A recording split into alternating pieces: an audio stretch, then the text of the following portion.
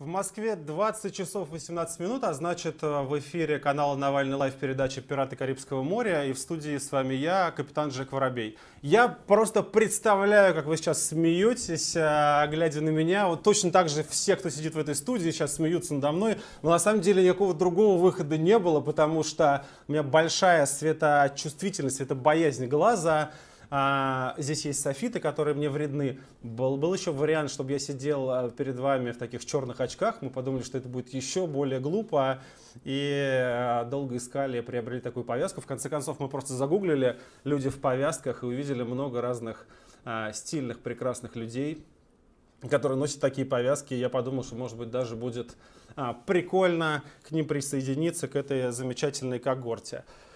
А, я просто чувствую, что, естественно, самый популярный э, вопрос или просьба в нашей трансляции будет, ну, ты повязку-то приподними, покажи, что у тебя за глаз. И поскольку у нас все-таки не настоящее телевидение, пожалуйста, можем показать даже, как выглядит глаз сегодня.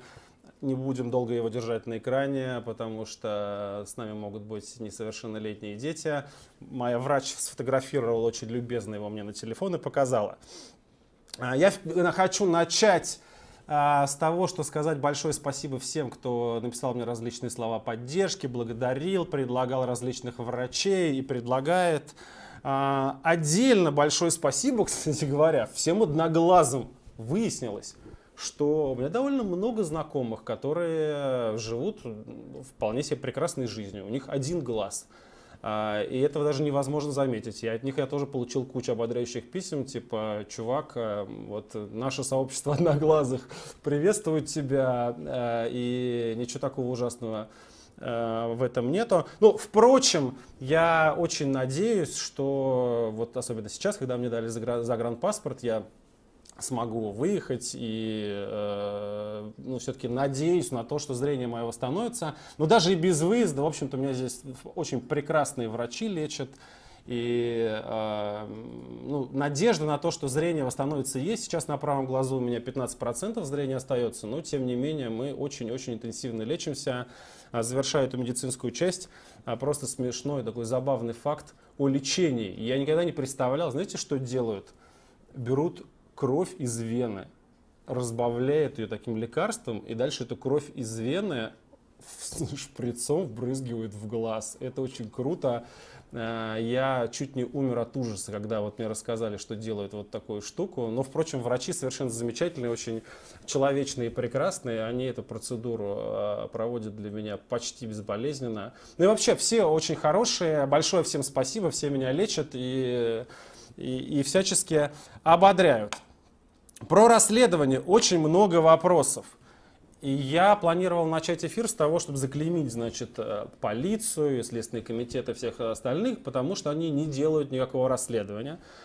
Затем в Хорасане объявится проклятый Даджал. Иудеи и турки последуют за ним.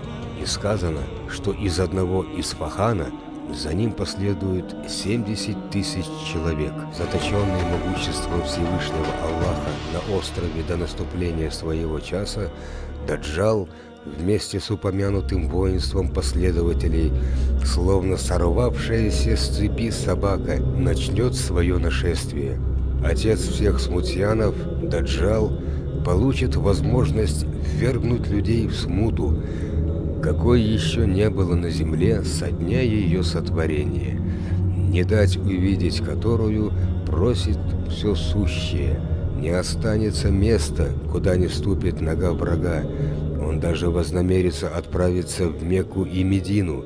Эти два заповедных места, мечеть Аль-Акса, Байт Аль-Мукаддас и гору Турасайна, Синайн, защитят ангелы – и не позволят проклятому ступить туда грязной ногой.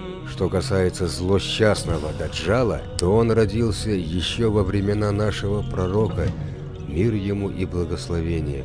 По мольбе посланника, мир ему и благословение, Всевышний Аллах переправил его из земли Хиджаза на остров море. Этот проклятый является человеком из потомства Адама, мир ему. Мать же его – из потомства проклятого Иблиса. Он объявится в иудейской вере и будет спорить с людьми, утверждая, что он Бог. «Если я оживлю твоего умершего отца, последуешь ли ты за мной?» будет он говорить сыну. В это время перед ним в облике отца предстанет шайтан, и сын, приняв это за правду, уверует в Даджала и впадет в заблуждение. У заблудшего проклятого не будет одного глаза, и на лбу у него будет написано «Кафир» – «Неверный». Говорят, его верховым животным будет осел, у которого будут такие уши, что они вынесут сто человек. Рай и ад в моей власти, и религия моя истинная, и кроме меня нет больше никого, будет утверждать этот неверный. И тогда всемогущий Аллах с небес спустит сыном Марьям, дух Аллаха, Ису, мир ему. Они поймают Даджала, спасающего душу бегством. В этом месте Даджалу дадут испить из рога смерти. Иса, мир ему, ударит его копьем, и он упадет на землю. Тотчас же проклятого зарежут, и человечество спасется от его смуты. Для иудеев, последовавших за ним, наступит настоящий судный день, от которого никто не убежит. И они, словно птенцы-куропатки, спрячутся в разных местах, и каждое дерево, за которыми они спрятались, будет свидетельствовать. Со мной тоже спрятался Иудей, и не останется ни одного дерева, которое бы не заговорило. Так будут истреблены последователи Таджала. Не останется ни одного из них, кто мог бы рассказать об этом – а те мусульмане, которые будут убиты ими, станут шахидами. Советниками Махди будут не арабы, достигшие познания Аллаха и говорящие на арабском. Он ни одного решения не примет единолично, не посоветовавшись с ними. После того, как в смуте Даджала будет положен конец, не останется ни одной религии, кроме ислама иудеи, христиане уверуют в Ису, мир ему, а тех, кто не уверует, накажут мечами. Они не отделаются выплатой дани, отвечать им будут только мечом. Шариат воссияет, как солнце в ясную погоду, и мир станет красивее, избавившись от ширка многобожия. Жизнь во всем мире станет прекрасной, достигнув совершенства в порядке и справедливости. Исчезнут усобицы и раздоры, овцы и волки будут жить в мире, а змеи будут играть с маленькими детьми. Хозяйство достигнет рассвета, народ разбогатеет, урожаи полей и садов будут небывалыми. Даже одной кистью винограда смогут насытиться несколько человек.